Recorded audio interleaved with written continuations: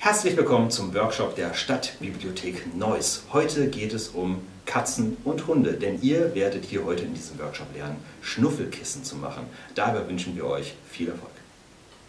Hallo, mein Name ist Christine Vogel. Ich möchte euch heute zeigen, wie wir ein Schnuffeltuch oder ihr könnt auch ein Schnuffelkissen daraus machen für unsere kleinen tierischen Mitbewohner machen. Vor allem geht es um Hunde oder Katzen, die ja gerne mit der Nase arbeiten.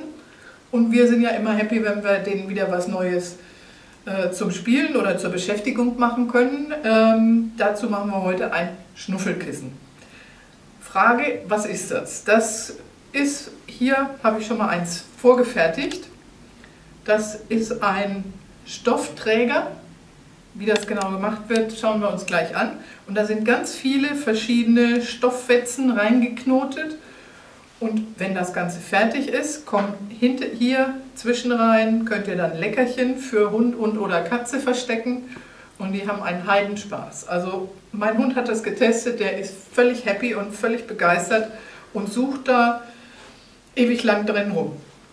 Also, wir machen ein Schnuffelkissen wenn ihr im Internet guckt, oder eine Schnuffeldecke, wenn ihr im Internet guckt, werdet ihr finden, dass die meisten von diesen Kissen aus Fließstoff gemacht werden. Da bin ich jetzt persönlich nicht so ein Freund von, einmal weil aus dem Fließstoff, wenn man den wäscht, relativ viel Mikroplastik rausgeht und zum anderen, weil es eben schlechter waschbar ist. Ich nehme gerne, ähm, da ich auch Upcycling-Fachfrau bin, äh, nehme ich gerne einen Stoff, den ich schon vorbenutzt hatte. Hier habe ich zum Beispiel für dieses ein altes verschlissenes Betttuch genommen. Ein Spannbetttuch habe ich außenrum die Gummis abgeschnitten und dann kann man einfach hier die Streifen schneiden oder was noch einfacher geht, man kann, wenn das ein Baumwollspannbetttuch ist, kann man das sehr gut reißen und dann ist das viel einfacher, als wenn man mit der Schere ständig schneidet. Das ist das eine. Das andere ist, was ist der Untergrund? Da gibt es mehrere Möglichkeiten.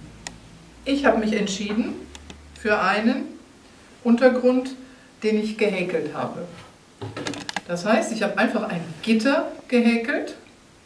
Für diejenigen von euch, die das können, ist das ganz einfach. Das ist einfach eine Luftmaschenkette und dann ein Lochmuster aus Stäbchen und Luftmaschen. Diejenigen, die nicht häkeln können oder wollen, können dann zum Beispiel auch hier so eine Matte nehmen. Das ist eine Matte, die ins Spülbecken kommt, damit das Geschirr innen drin beim Spülen, beim Handspülen nicht ver verrutscht. Diejenigen können so einen Teil nehmen und meistens haben die Löcher. Ich habe jetzt nur gerade während des Lockdowns keines mit größeren Löchern gekriegt. Ähm, ich habe das mal hier schon angefangen und man kann sehen im Vergleich von den beiden, das hier wird lange nicht so dicht wie das gehäkelte und je mehr wir an Fusseln und an Stoff da drin haben, desto mehr Spaß macht das den Tieren hinterher. Was man auch noch nehmen kann, ist eine Teppichunterlage, diese Anti-Rutschmatten von den Teppichen. Da gibt es welche, die auch wie so ein Gitter sind. Da kann man sich das Stück rausschneiden und kann dann die Stoffteile da einfach reinknüpfen. Wie geht das jetzt? Ähm,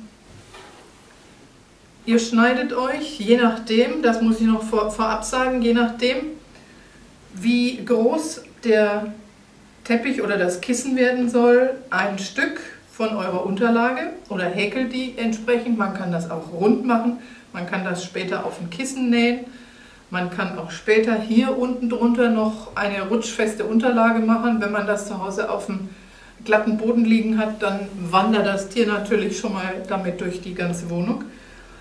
Ähm, man kann, äh, andersrum gesagt, wir nehmen dann diese Stoffstreifen. Da ist die Frage, wie lang und wie breit. Da könnt ihr euch überlegen, wie groß ist das Tier. Für eine kleine Katze würde ich jetzt vielleicht Je nachdem, wie temperamentvoll die Katze ist, kann man sich überlegen, ob man die ein bisschen kürzer macht.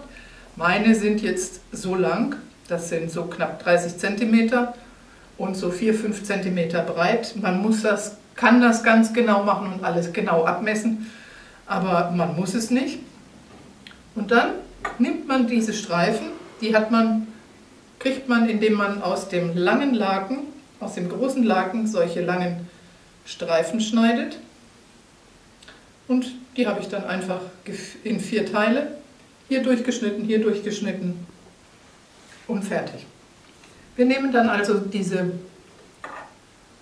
Stoffstreifen, fädeln die einmal hier durch und ich habe dann immer zwei Knoten gemacht. Einmal und dann geht das so weiter. Man kann das sehr gut abends auf dem Sofa machen, kann sich dabei die Lieblingsserie im Fernsehen oder bei Netflix oder wo auch immer angucken und dann macht man Knoten. Und Knoten und Knoten und Knoten. Und überall da, wo wir so eine Brücke haben, macht man die Knoten rein. Das sieht dann nachher von der Rückseite so aus. Ihr seht überall da, wo ihr so ein, eine rote Schlinge seht, ist auf der anderen Seite so ein Schnuffelfaden, wo das Tier nachher gucken kann. Das Ganze geht so weiter. Wir machen Reihe für Reihe. Und nachher, wenn es fertig ist, sieht so aus. Man kann hier noch sehen, hier sind die Löcher unten drunter.